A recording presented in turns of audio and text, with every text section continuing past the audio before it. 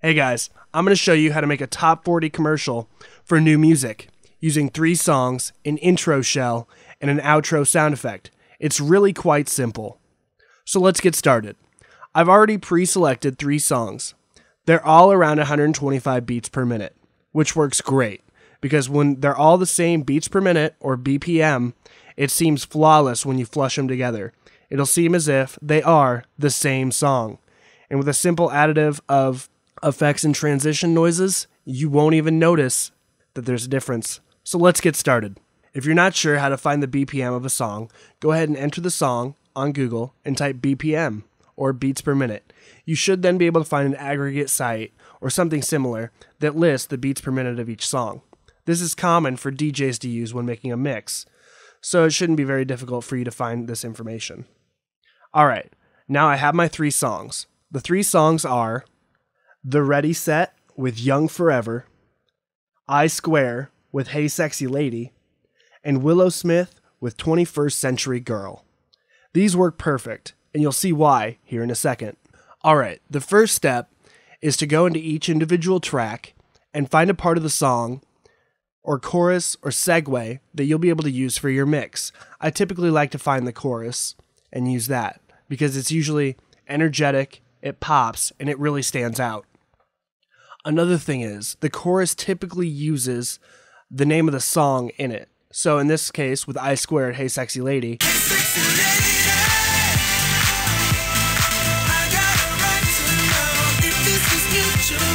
you get that build with the beat, and then it goes in and says, Hey Sexy Lady. You want that in there so that when it is a commercial,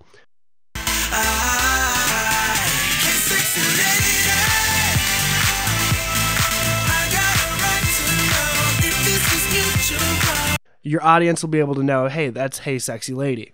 So I went ahead and I selected that.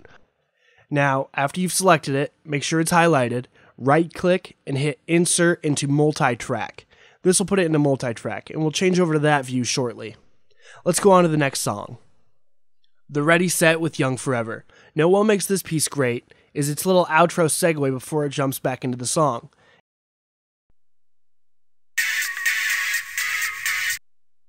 We're singing, hey, hey, we'll be on forever. Tonight will last forever till our bodies drop, drop, drop, drop. It goes drop, drop, drop, drop. Now, a good idea would be to listen to all three songs and see if you can find words that'll be able to play off of each other during your transitions. Now, what you're going to see here is that I was extremely lucky. The word drop is also used and played in Willow Smith's 21st Century Girl. You'll see why here in a second. Again, once your piece is selected, right click and insert into multi-track, and then move on to your third song. So here we go. All right, how did I get so lucky? I really don't know. Let's be honest. Sometimes it just falls in your lap. So Willow Smith says, drop the beat, which is the perfect intro for the outro we just had for the Ready Set song, where they're exclaiming drop repeatedly. So these two will overlap and it'll work flawlessly. It'll almost seem as if you don't need to insert an effect for this transition. Rock the beat. 21st century girl, I do what I 21st century girl, I'm taking you for a ride. 20 Rock the beat. So now, as the third track is selected, insert it into multi track. Here we go. Bizow. All right, now it's time for, yep, you guessed it, multi track. But don't be intimidated, because if you've already watched the previous parts of this DVD, you should know exactly what to do, when, where, how, and why. So let's get to it. The three tracks are now in multi track. It's now your responsibility to make the beats line up, add the effects, mix down, master, and send it off to your program director so that this commercial can happen on the air. So let's get to it. No more talking. First, as mentioned, you want to line up the beats. You want to look exactly at where each wave lines up, and you want to make sure that from below they look like they're a straight line. Each wave needs to follow the wave above it. So here we go. If you've done it correctly, it should sound good. If you screwed up and the lines aren't lined up, your ears will be able to tell you.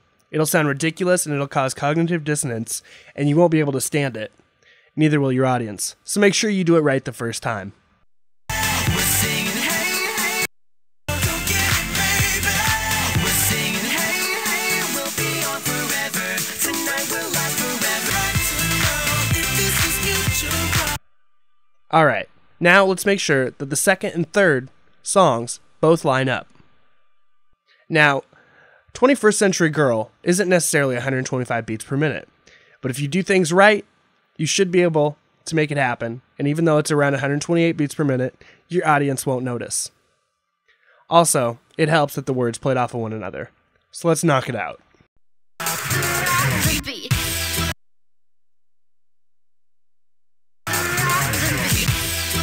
All right, so I haven't rehearsed, so this is me doing it live.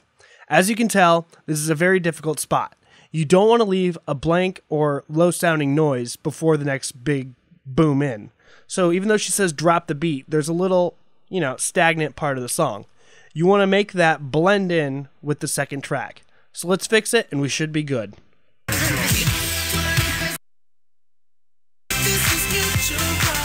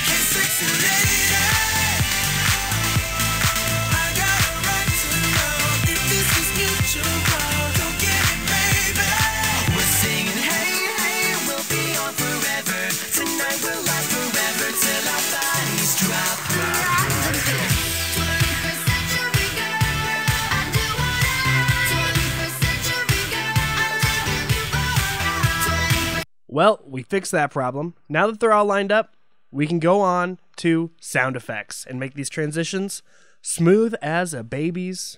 Well, you get the idea. We're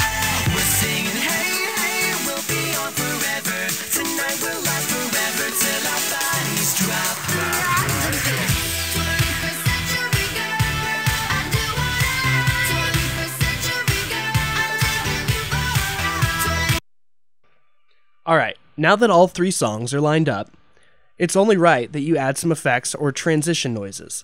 Wipes tend to work best. Also, you can try rollovers. If you're looking for sound effects, your instructor has these on hand. Feel free to ask.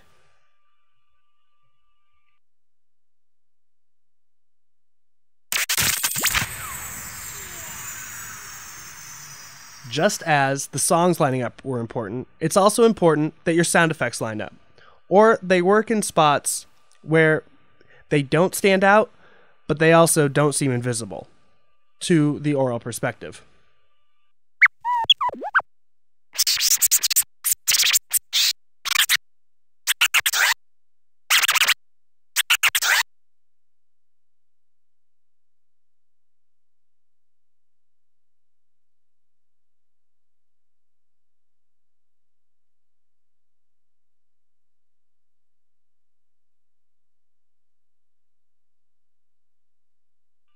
So here we go. The turntable scratching I've inserted is also 125 beats per minute. So if lined up correctly with the beat, you shouldn't be able to tell any difference and it'll work great.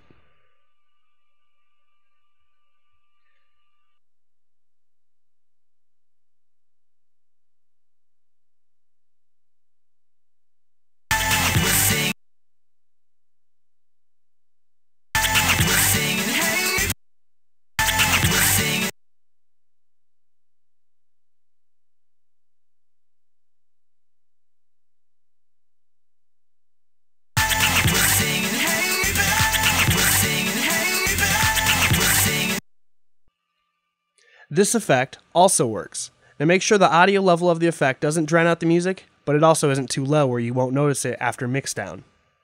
Don't get it, baby.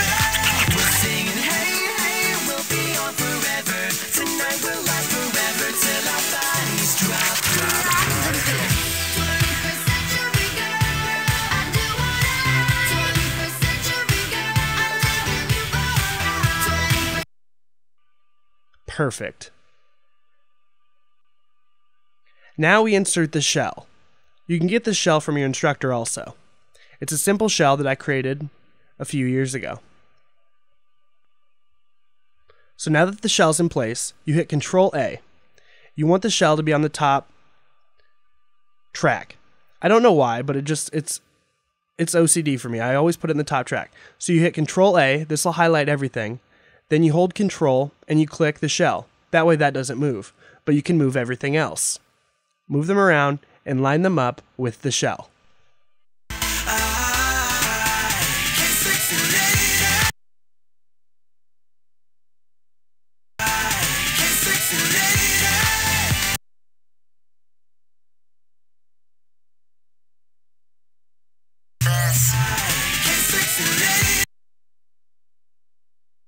Cut and edit the pieces so your final product is around 30 seconds.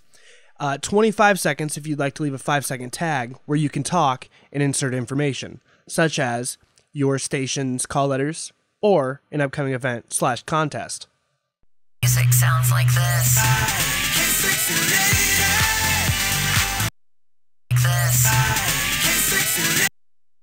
Now, to edit the audio levels, simply click on the top of that track.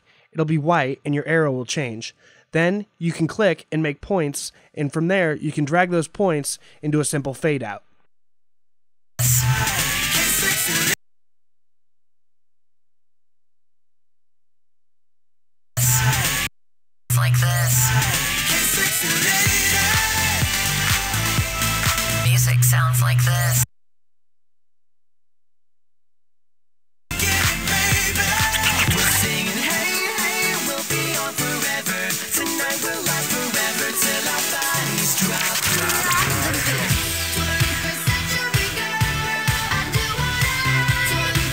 So now, once they're all in place, you need an outro effect. A simple boom or wipe always works well to end your track. Now make sure your sound effect for your outro is in the right place, and then you should be satisfied. The next step is to go and mix it down so that it can go to mastering. After being mastered, hey, it's ready for radio play. This, ladies and gentlemen, is how you make a top 40 radio commercial. Music. New music sounds like this.